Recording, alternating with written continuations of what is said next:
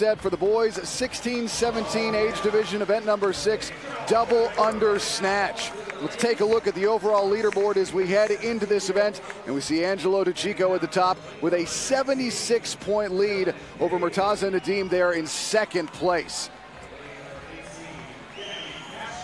Yeah, it's really been the Angelo show up until this point. It's uh, he started out big the first day of competition, and uh, he's been leading the entire time. Double under snatch is what they'll be getting into, Justin. And again, what are you expecting to look for here? These athletes, what are they up against?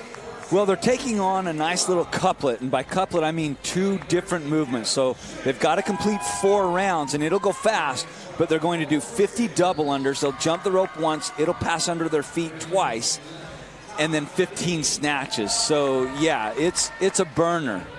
Now, in terms of lane assignments, we saw our leaders in Pepper as well as Mitchell right near each other, and it seemed like Pepper did not do any peeking. He was in his own world, and that helped him uh, come away with a surprise win in the event. Does that same ideology pertain to these assignments? Is uh, DiCicco in the middle at the top of the leaderboard will be able to see his closest competitors?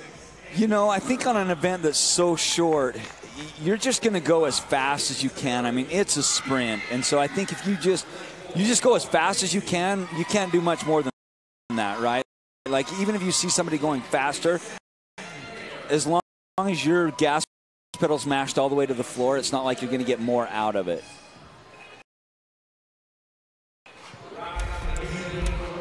And Nadim came up big yesterday, winning the sprint on the O course and that helped move him into second place. So if he wants to stay in that position or even catch up point wise to Angelo DiCicco, he needs to just go, go, go on this event. And DiCicco, who so far, I mean, we've thrown what five different types of fitness uh, events at him, and this guy's come up big in all of them. I don't see that double unders and, and snatches with a lighter weight are going to be any big deal for Angelo. So look for him to do well on this event too.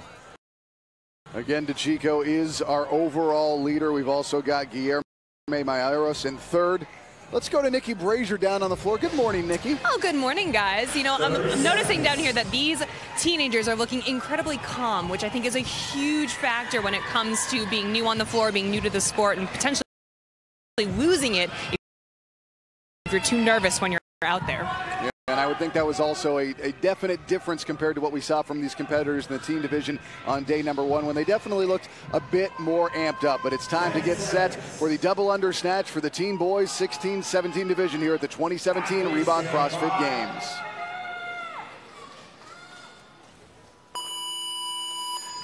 We're underway, team boys, 16-17 double under snatch. What are you expecting to see here? What's it going to take to win or get a good placing?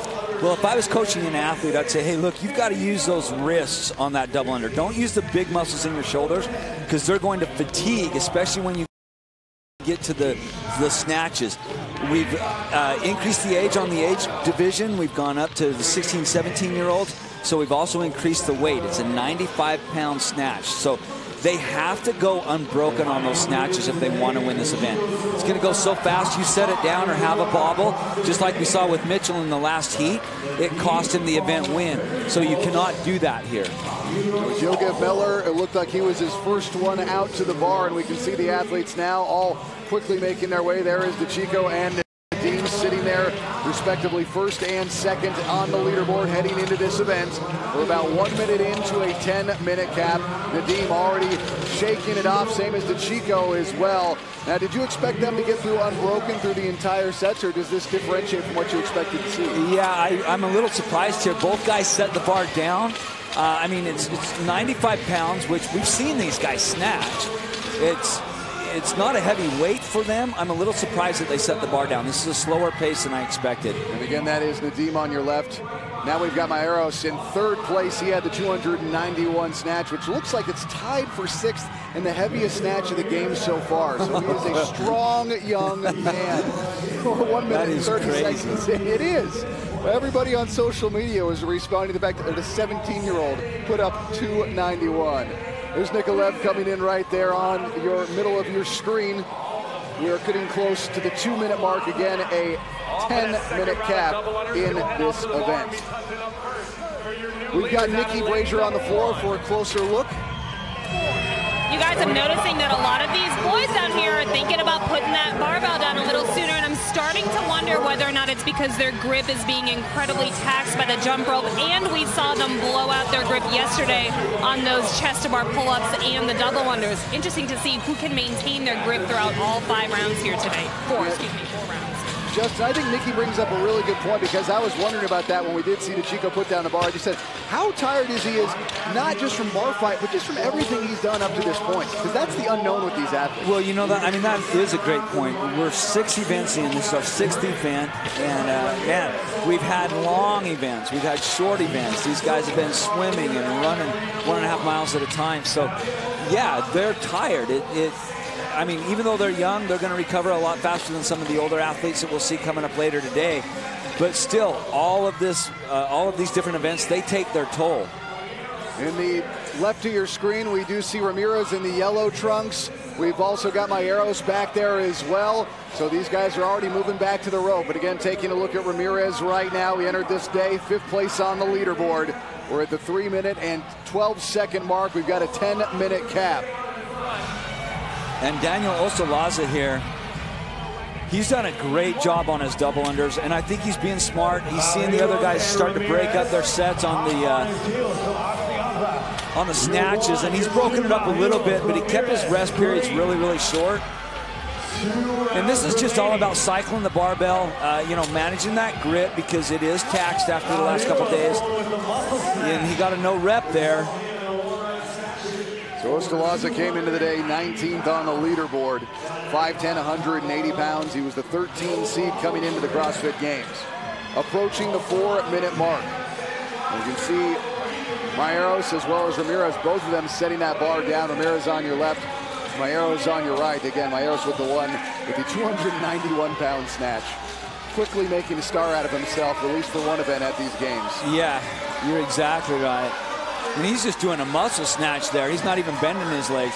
Now watch Ostolaza on these double unders because he does a great job keeping his elbows tight. Now we're back to Angelo. And he's just cycling that so fast and smooth. Okay, now he's going to start his third round. This is where I think things get really interesting because this is where it starts to hurt the fourth round, you can kind of say, hey, the, I can see the light at the end of the tunnel. I just got to push it a little bit more and I'm done. But the third round is a different story. Ostolaza is doing a great job of pushing it here in this third round when he's really tired already. Machine-like with those double unders was Ostolaza. And when he made his way back before, he stretched out his shoulders. But here comes Malheiros as well. He wants another event win. He's so strong, he's just doing a muscle snatch here. He's not even bending his knees to get underneath it and catch the bar. He is flying. Yeah, it makes it a lot faster. You don't have to stand that bar back up again. But I think who, whoever can hang on to the bar the longest is going to win this event. Malheiros on your right, Ostolaza on your left. Malheiros is leading the competition. Ostolaza is in second in this event right now. Okay, now we're seeing on the right, we're seeing Malheiros dip underneath that bar and catch it a little bit. Obviously, the fatigue is starting to catch up to him, and now he's done. So great job, little dab action there. So Malheiros comes through at about 5.37 unofficially to take the event. And now we're seeing Ostolaza come in as well. He'll step through at 5.49 unofficially with a slap to some friends and family. Now we'll got to see who comes up. There's Nikolaev, yellow trunks, came on the day on eighth place. Less than four minutes remain.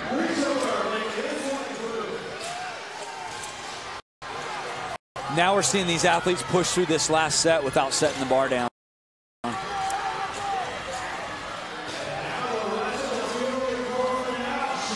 There's Mazza. He'll make his way in. 621 unofficially. Nikolaev coming in, 628.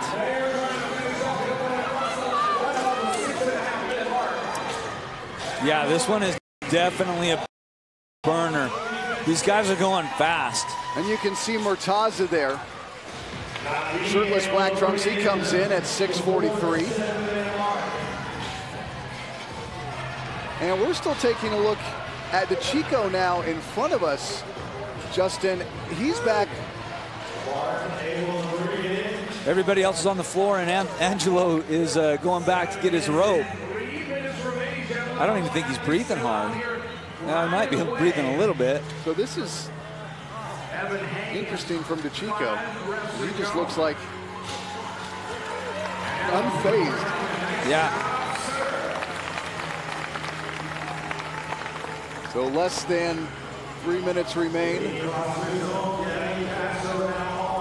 So it was interesting to me, Ted. A lot of the guys actually set the bar down to take a small break. but we have they still Castro. finished really fast. Yeah, just our last athlete on the floor. 7:30 mark. Plenty of time here for Castro to finish this out well underneath the cap. Now everybody will come gather around Castro, representing the spirit and community of the CrossFit world. His best finish was on the assault lunge where he placed 10th. Final five rounds Two here for minutes remain. Team boys 16-17 double under snatch. Now cheering him on. Castro came in on the day 16th overall. Doing a good job. Nice bar path. Dipping underneath that bar, standing up straight with the big muscles in his lower body. And he'll bring it in at 820. So they all get in once again, flying in well under the 10-minute mark. And is that telling you this is programmed correctly? Oh, yeah. I mean, I think they're coming in right when we expected athletes to come in. And so, yeah, I, I think it's definitely appropriate. All right, let's go to Malheiros here and see what he was doing so efficiently. Well, he started out with just that muscle snatch, meaning he wasn't even dipping underneath the bar to catch it and stand up with it. The elbows nice and tight to his body here and just smooth and relaxed on those double unders. Now at the end, he knew he had to push it, so that's when the fatigue set in. You started to see him dip a little bit on that, but that's really where he caught. We've He got, caught up to Ostolaza. we've got Nikki Brazier on the floor with our event winner. Nikki, how are you doing?